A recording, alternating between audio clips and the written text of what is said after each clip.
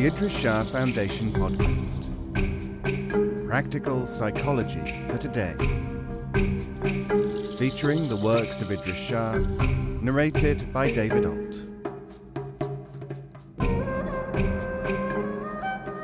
Welcome to the Idries Shah Foundation podcast. This is the 15th in our series of selections made by the members of our Facebook group. It comes from the Dermis Probe and is entitled Only Three Men in the World. Once upon a time, when the sons of Adam had multiplied exceedingly, calamities began to increase.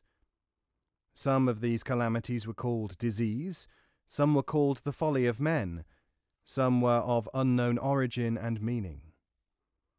People banded themselves into tribes and nations so that they could endure, repel, or escape these calamities. People grew apart and ceased to understand themselves and even one another. Those forms of activity which men had devised, imitated, and learned, even from insects, now prevented them from giving their attention to some of the purposes for which men were originally distributed upon the earth. The dervish teacher Khidr travelled far and wide among the various sections of mankind, in deserts and towns, in islands and mountains, in villages and nomad camps, looking for people who might be able to hear his message. The real welfare of man is the same as the real welfare of men.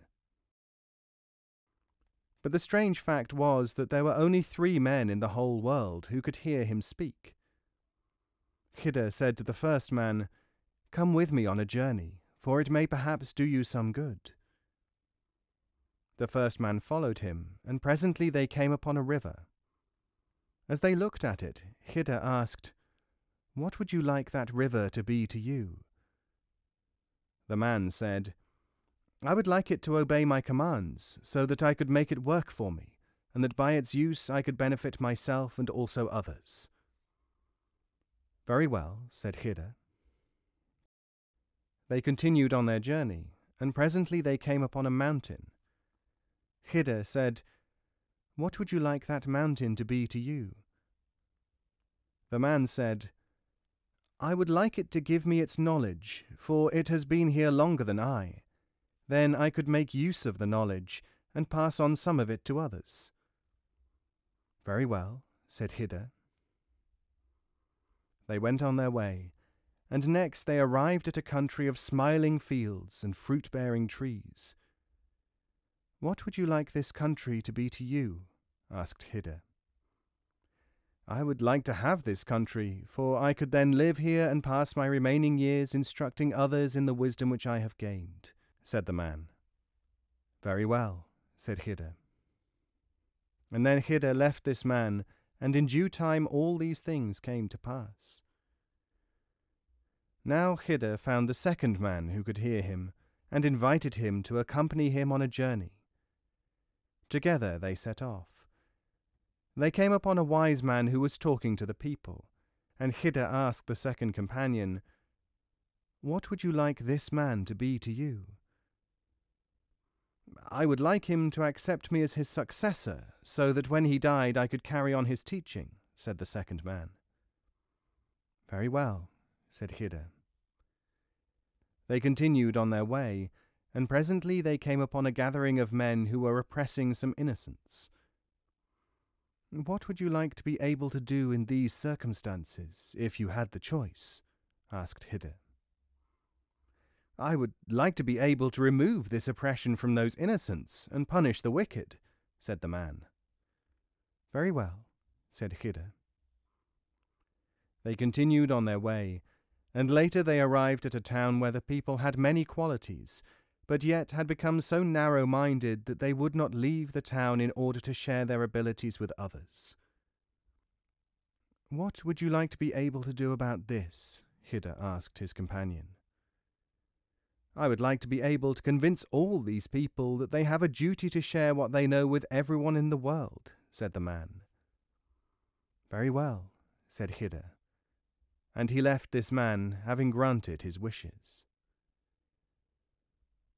Then Khidr went and found the third man, the last man in all the world who could hear him, and asked him to accompany him on a journey. The man agreed. They had not been travelling very long when they came to a place where there were nobles and slaves, high and low, and people of a middling state as well.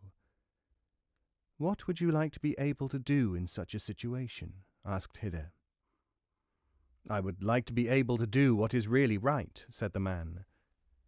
Very well, said Khidr. They continued on their way, and when they came to some people who were hungry, since their crops had failed, Khidr asked his companion, Would you like these people to be fed? The man answered, I would like them to be content with poverty when it is best for them, and discontented with it when that is right for them, said the man. Very well, said Khidr.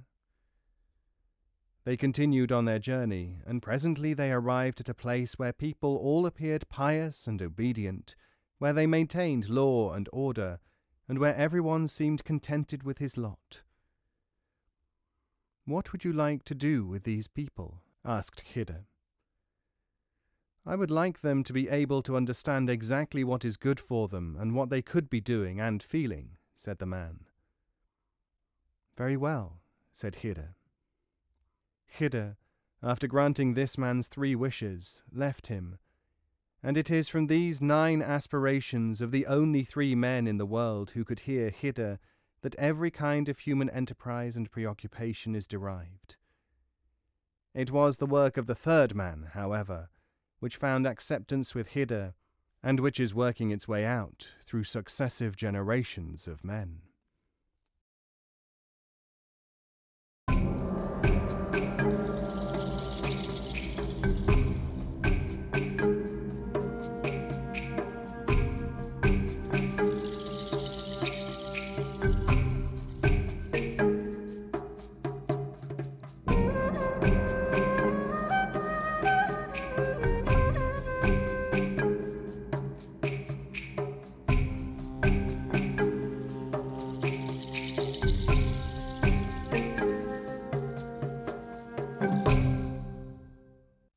This audio is made available by the Idries Shah Foundation and is copyright 2019.